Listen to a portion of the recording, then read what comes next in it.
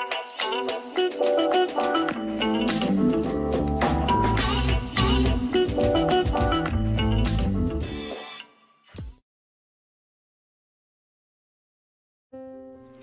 everybody, this is Tracy here with another edition of A View from Tracy's Point. And we are here today to share some bad news, um, especially for those of you um, that are fans of gospel music and in the COGIC Church, which stands for Church of God in Christ. But um, earlier today, Bishop Rance Allen passed away. He was 71 years old. And when I tell y'all I love me some Rance Allen, of course, we know that we all um, will have our date with destiny. But when you just log on to the computer and the first thing you see is somebody, you know, that you uh, followed, that you supported, who has been an inspiration in your life um, or in my life in this case, you know, it hurts like, you know, someone that I knew personally has passed away. And the reason I love Rance Allen so much is because him and gospel artist John P. Kee, like when I was in my 20s and I was trying to figure things out, these two gospel artists got me through some rough, rough times. And one of my favorite songs and one of his more popular songs is something about the name Jesus. Um, if you're trying to you know, figure out who this is or who I'm talking about if the pictures, you know, aren't shaking your memory. And I say that because I made a post on Facebook and my oldest daughter, who is about to be 36 years old, she's like, I'm not trying to be funny, but who is this man? And I'm thinking, like, as much as I used to have this man music blasting in the house when she was a little girl, I could not believe she asked me this question. It's sad news, but you can also rejoice in the fact that, like, it's hard for me to be really sad when a person passes away when I know they lived their life doing exactly what they were called to do and what brought them joy. I become sad when I know, you know, a person has struggled their whole life um, they die with their potential untouched and unreached. But when I know that somebody, you know, from all appearances lived the life that they chose to live, then I don't get that heavy sadness within me, but it's more of a joyous sadness that, yes, it was their time to go, but I know that they accomplished so much in their life, if that makes sense to you. Dear Saints, the initial notice of Episcopal transition is as per the directive of our presiding bishop and chief apostle, Bishop Charles Edward Blake Sr. God, who is omnipotent and omniscient, has summoned his servant, Bishop Ransley Allen, to eternal rest. Bishop Allen served as prelate of the Michigan Northwest Harvest Ecclesiastical Jurisdiction Bishop Allen was a world renowned gospel artist and affectionately known as the father of contemporary gospel music.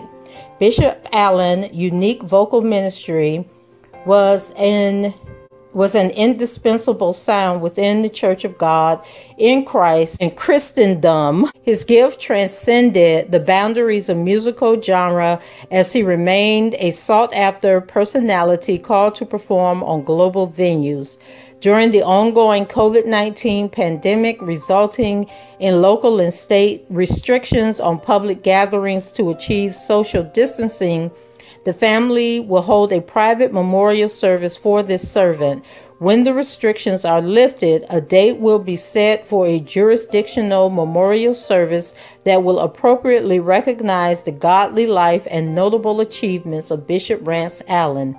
During this time of uncertainty, we request the continued prayers as well as acts of emotional and spiritual support for the family. It is with great honor that the National Adjutancy will assist the family during this most difficult time. Blessed be God, even the Father of our Lord Jesus Christ, the Father of mercies and the God of all comfort. Second Corinthians 1 and 3 um, sanctifying the leader I am Robert G. Rudolph Jr., Adjutant General, Church of the God in Christ Incorporated. And so that was the official notice that came out, um, letting the world know that Bishop Rance Allen had passed away.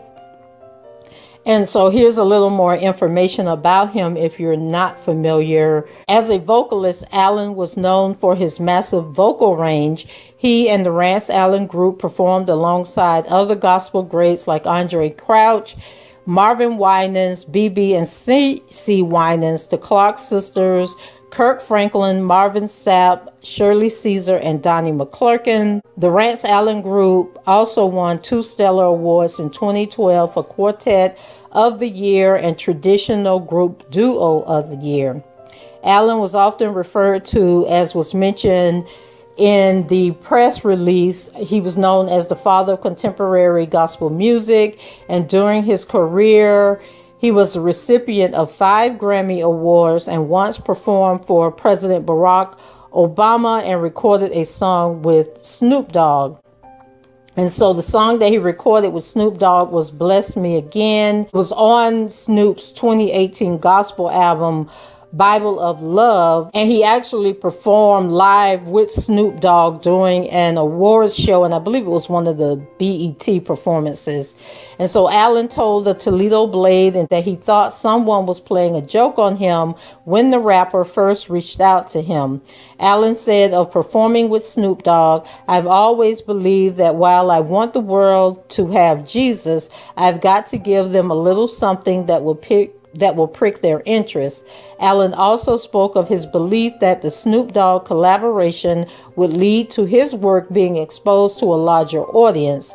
And he went on to say that when Snoop says, Hey fellas, Jesus saves, he's going to shake their worlds. Allen's wife, Ellen Marie Allen Groves, said that she uh, met and fell in love with him at the age of 16. The couple married with her father's consent in December of 1970. Before becoming fully involved with the church, Groves refers to her husband as the sweetest, most humble, patient, loving, giving man this side of glory. Um, Allen founded the Rance Allen Group along with his brothers, bass playing Steve and drummer Thomas in their hometown of Monroe, Michigan in 1969. His official website describes the group as beginning to invade the world with a new contemporary and innovative gospel sound. And so he got his roses earlier this year. And, you know, we always talk about giving people their roses, letting them know how much they are appreciated. And this year in February, he was celebrated in Toledo as part of Black History Month. As part of the celebrations, a wing of Imagine Madison School of Arts in the city was named after him. And so his legacy would definitely live on that way. And so Allen was quoted as saying, I've been singing over 60 years and it's been as far as I was concerned a ministry. Then to get to be 71 years old and someone says, We want to honor you, it made me want to put my suit on today. It's a wonderful thing and I'm enjoying every bit of it. And then in April of 2015, which was when he performed for then President Barack Obama and Michelle Obama at, at, the White House. It was part of a special event celebrating the history of gospel music. And so Allen told the Monroe News at that time in the lead up to the performance, quote, I am so honored I can't find the right words to describe it. I'm excited and a little bit nervous. Allen appeared on the lineup alongside other legendary performers such as Aretha Franklin, Lyle Lovett, and Emmylou Harris. And so at the event, told performers in a speech. Songs were where their dreams took flight, where they expressed faith and love, as well as pain and fear and unimaginable loss.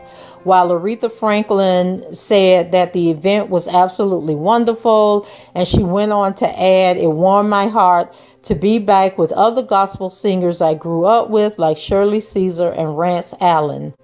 And that's a quote from Ebony Magazine. A little bit about how Rance Allen came to prominence.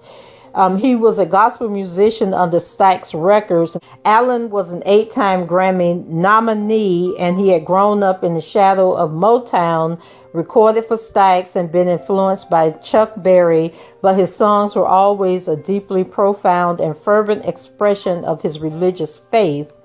Um, he was quoted as saying, It's music, it's truth, it's the anointing of God, it's an exciting thing, and you can hear it. In the early 70s, Stax would launch a spiritual imprint called The Gospel Truth, and in part to give Allen's voice a platform. Um, Rance Allen may not have had the name recognition of some other Stax stars, but he certainly had one of the most powerful voices in the music industry. And that's a quote from the communications director with Stax Soulsville Foundation, Tim Sampson. During the Stax Museum Soul Comes Home grand opening concert in 2003, not only did he get a standing ovation with the crowd at the Orpheum Theater, but he also was the only artist who got a standing ovation among all the other legends backstage. He also visited the Stax Music Academy on several occasions, and the students were in awe. We will miss Rance, and our thoughts are with his family, the members of the Rance Allen Group, his fans, and his parishioners, said Sampson. According to Rance Allen himself, his career actually began when he was in grade school, and he was quoted as saying, I was maybe nine or 10 years old when I picked up the piano.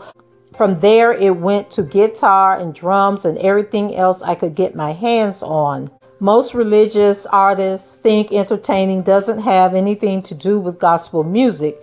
My, but my grandmother, she wanted us to learn how to entertain. She'd say, if people don't see you if people don't see you're enjoying your stuff, they're not going to enjoy you. Entertain, perform, make folks laugh, make them cry. You got to be able to work the area of emotion. We always took that advice to heart, he concluded. Although Allen was influenced by gospel artists like James Cleveland, his guitar style and finely etched songs bore the marks of Chuck Berry of Rock and Roll Hall of Fame. At that time in my life, Chuck Berry was like a superhuman, superhero, the way he played the guitar, Allen stated once. And while I was concentrating on gospel, I was very much interested in the secular world of music too. By the early 70s, after releasing a single on the Tiny Reflect label, Allen and his group were primed and ready to break nationally. Naturally, they headed to nearby Detroit to land a contract with Motown. We tried to go to Motown, but Motown didn't do gospel at all, recalled Allen in an interview. The next step was to go to Stax Records, and they didn't do gospel at that time either. But Stax head Jim Stewart and Al Bell liked that liked what they heard, and so they called my manager to tell him they were interested, and interested to the point of trying to possibly come up with a new way to get the record out. So the new way turned out to be of the formation of the Gospel Truth Records, which would become a spiritual arm for the soul label that would go on to release albums by Reverend Maceo Woods, Louise Lewis, Louise McCord, 21st Century, and the Reverend Jesse Jackson's People Choir of Operation Push. It was a first for Stax, and we were the first ones to record on that label. There's no way we would have gotten the first record out had it not been for Stax having that kind of faith in us. When you got a record company that will say, We believe so much in this artist that we will create a label for them, well, I'm forever grateful for that, Allen went on to say in another interview. After signing to Stax, the Allen Group would eventually come to Memphis to record, absorbing the city's musicians and players. That was a mega, mega step for us. We started studying the musicians down there, people like Duck Dunn and Al Jackson and Bobby Manuel, Lester Snell, all of those guys. We were just amazed by the way they were able to play. We basically went to school on them. That's the reason why, even today, all these many years later, when you listen to our music, you hear the real Rich Stax flavor in there. And so in 1989, Allen moved to Toledo, Ohio, where he began preaching at the New Bethel Church of God in Christ. In between his ministry, Allen would remain a stalwart presence on the gospel circuit and continue to record and perform. A frequent visitor to Memphis and Soulsville, he appeared at the Stax 50th anniversary concert in 2007 and visited the Stax Museum and Music Academy numerous times over the past decade. Allen's early 70 output had eventually been given a renewed focus in recent weeks as Craft Recordings released The Gospel Truth complete singles collection, a retrospective chronicling the Stax imprint that Allen helped usher into existence. In addition to something about the name of Jesus, um, other songs by Rance Allen include You That I Trust, which was released in 2001, Miracle Worker, which was also really popular in 2004. That Would Be Good Enough in 1972. Um, I stood on the banks of Jordan, another, another, another popular song. Um, I Belong to You in 2002. Um, Ain't No Need of Crying, another popular one. That was in 1975. Um, a little louder, like a good neighbor, do your will all day long, joy in my soul. That's like a choir staple there. If you have been in a Baptist church, you've probably heard a choir perform joy in my soul. Um, I got to be myself, which came out in 1973. And I mean, he had a lot of songs. I think he released like maybe 15 albums.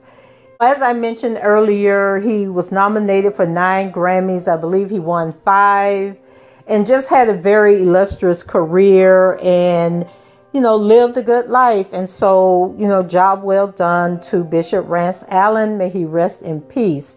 Guys, go ahead and leave your comments below, rate the video, subscribe to the channel if you haven't done so already, and let me know if you were a fan of Rance Allen and what was your favorite song. Until the next time, I shall talk to you guys later. Bye bye.